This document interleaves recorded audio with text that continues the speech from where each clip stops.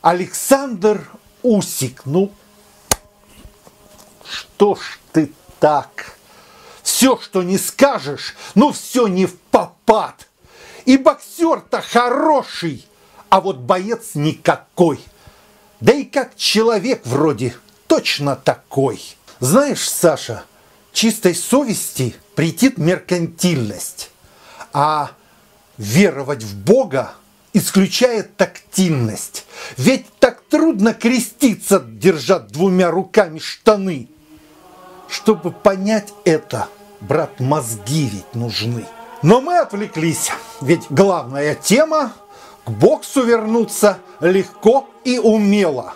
И пока на низком старте замерли все, с выпуском своим The Ring Show снова в седле.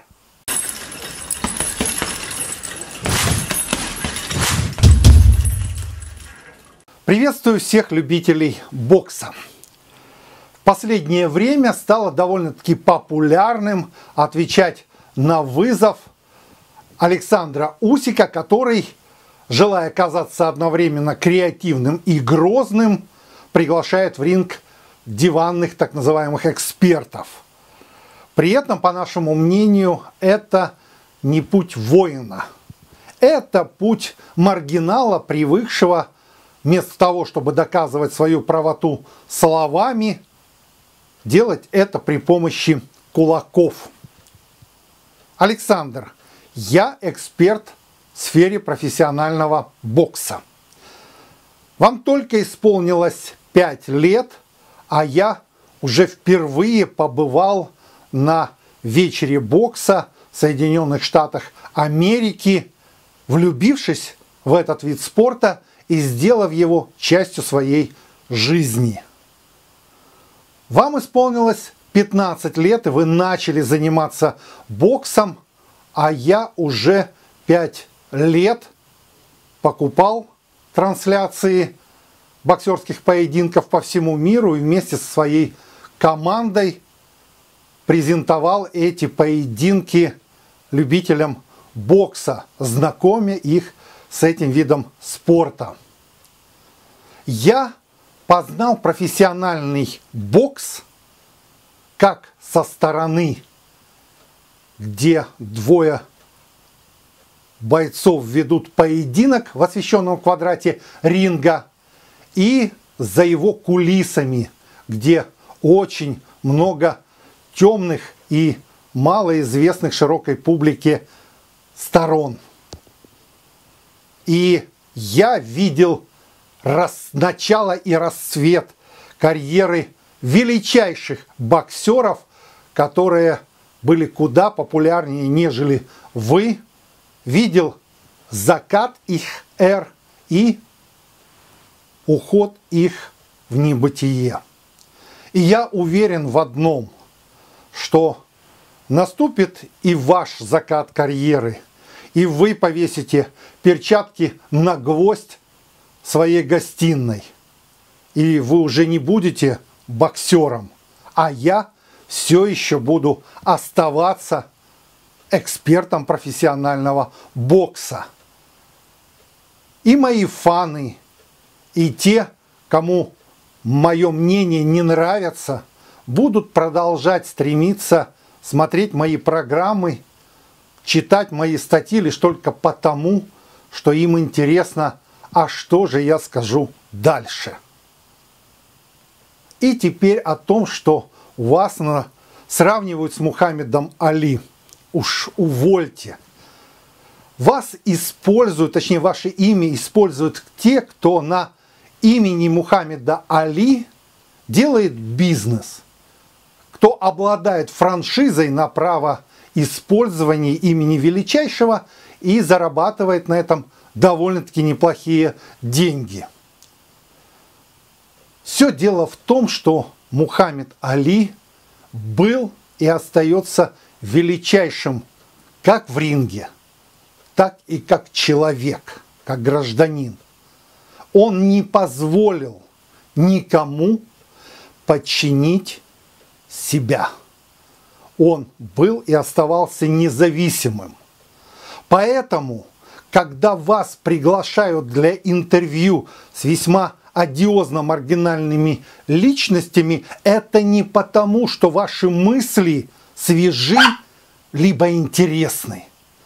Они наливают вам елей на уши, играя на вашем самолюбии и заставляя вас в контексте либо нет произносить те слова, которые нужны им.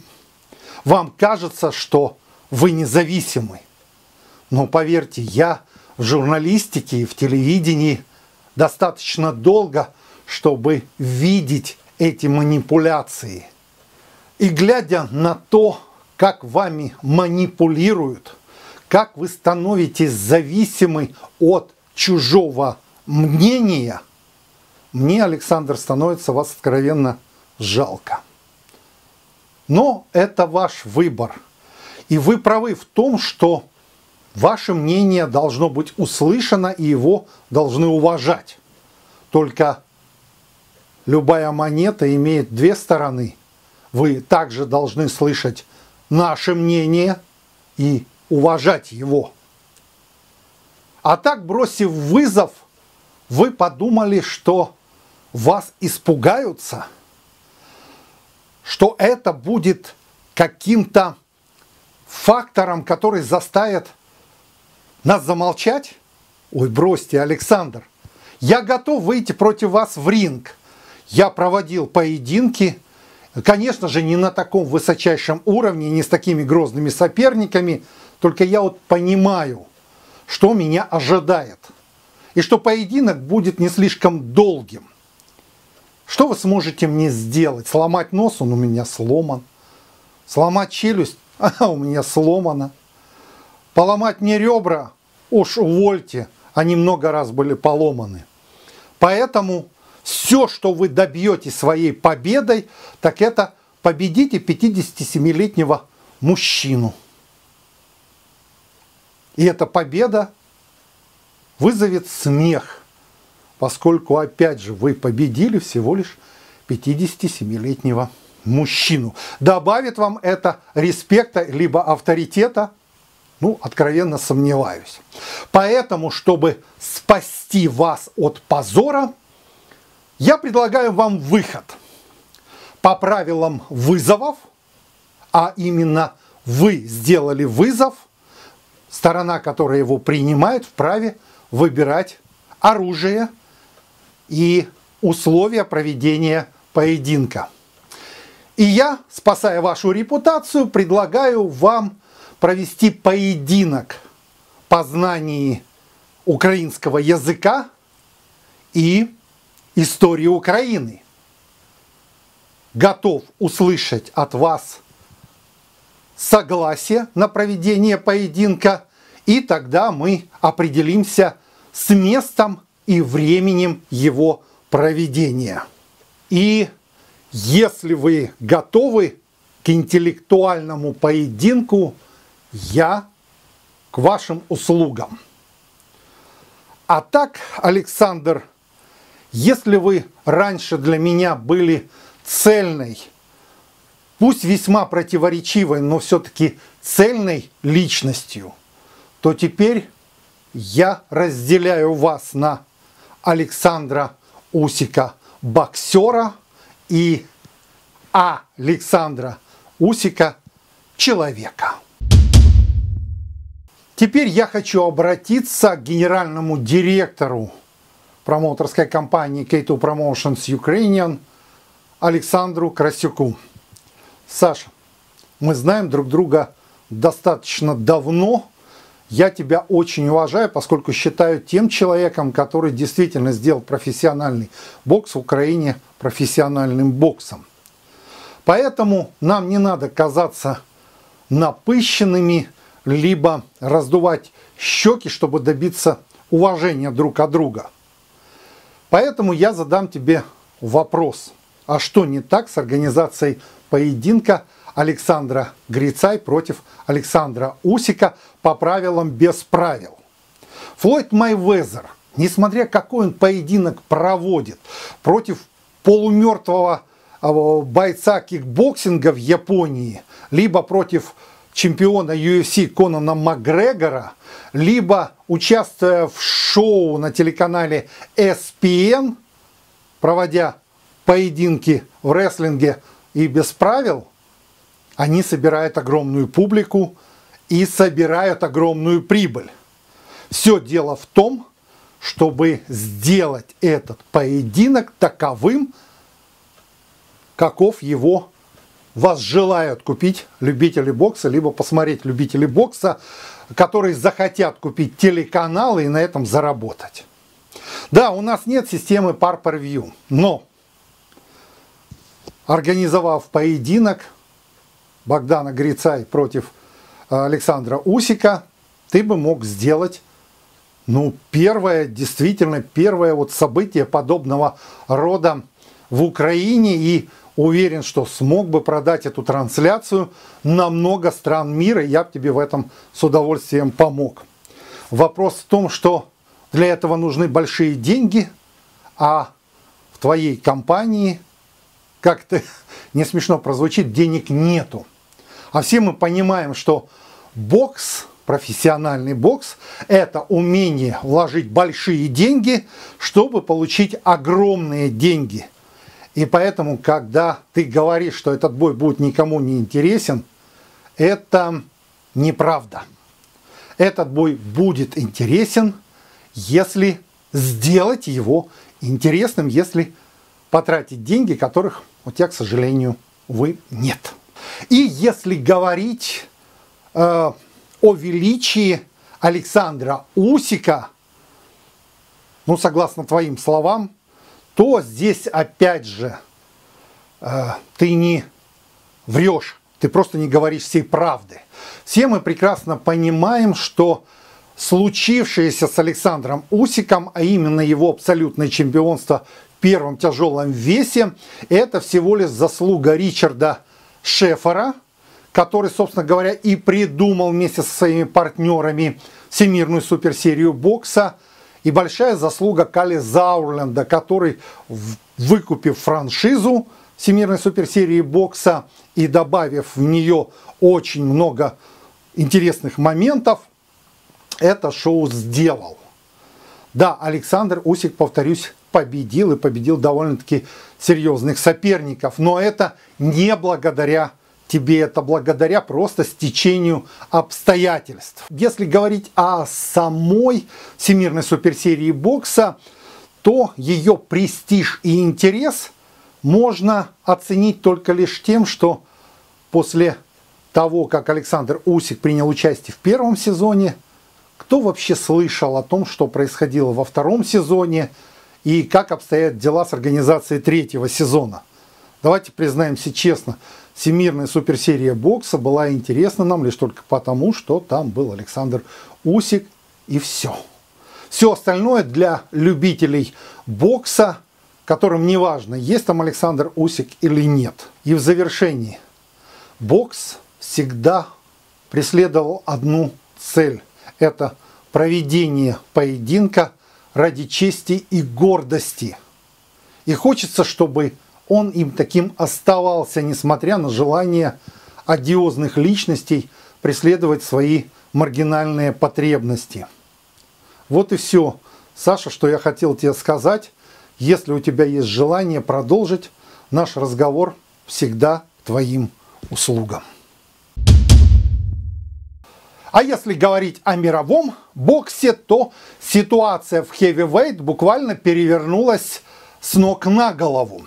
Если изначально Эдди Хирн говорил о том, чтобы провести своего чемпиона Энтони Джошуа через поединки против обязательного претендента по версии IBF Кубрата Пулева, а затем обязательного претендента по версии WBO Александра Усика, то теперь интересы Эдди сместились несколько другую плоскость, и он начинает довольно-таки серьезно говорить о проведении двух поединков между Энтони Джошуа и Тайсоном Фьюри, которые, по его мнению, могут состояться в конце этого и середине будущего года.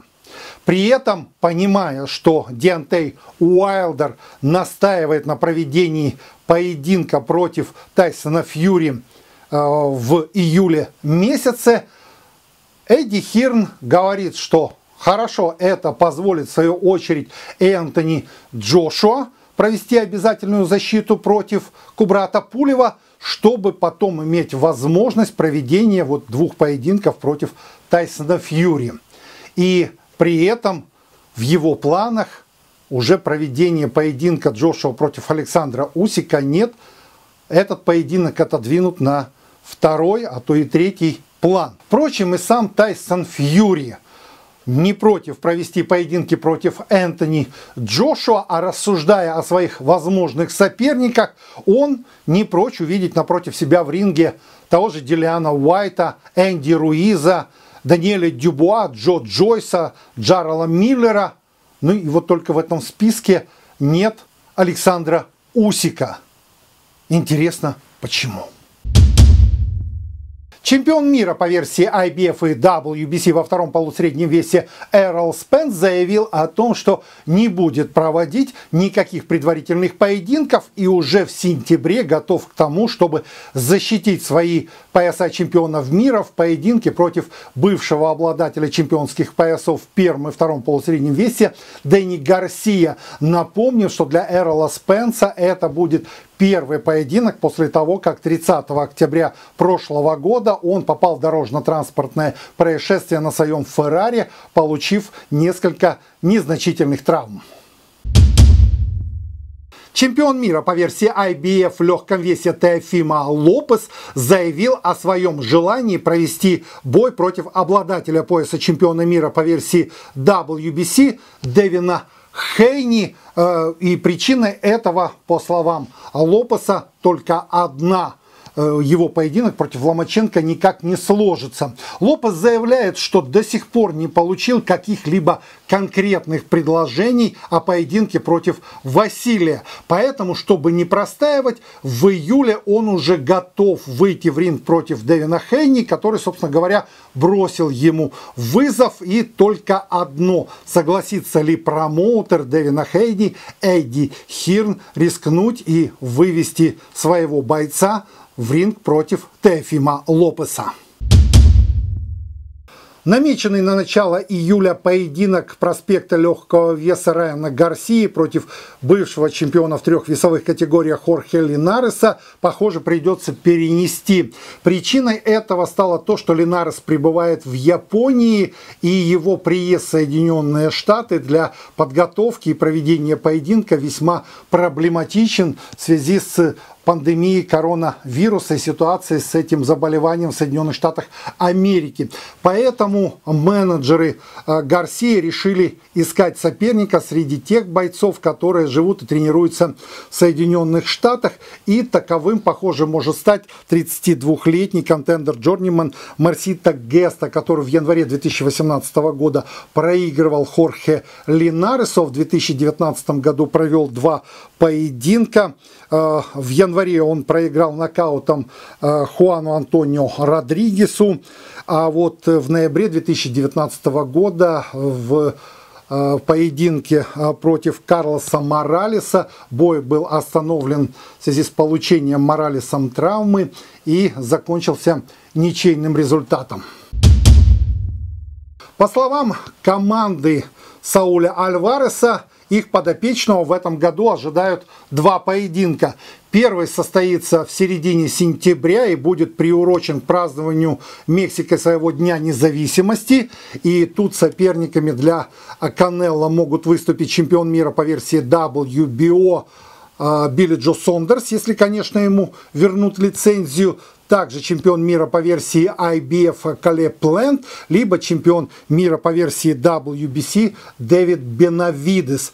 А вот в декабре Сауль Альварес так и не проведет э, всеми ожидаемого третьего поединка против Геннадия Головкина, поскольку Головкина ожидает обязательная защита своего титула чемпиона мира по версии IBF против Камила Шереметы.